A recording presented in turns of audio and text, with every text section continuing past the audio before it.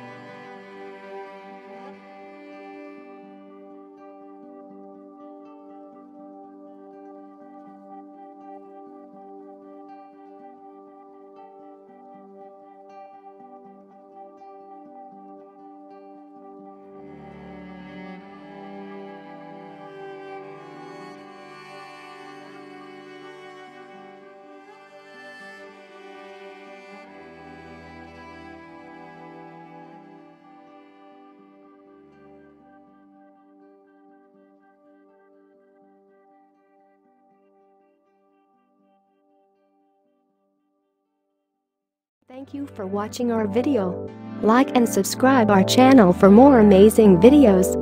Also don't forget to share it with your friends. Contact French NU to learn French language. We provide online classes for DELF preparation, TEF preparation, academic course preparation for kids, and accent improvement. Call or WhatsApp at 987069696 or email at linguistic.fr at gmail.com.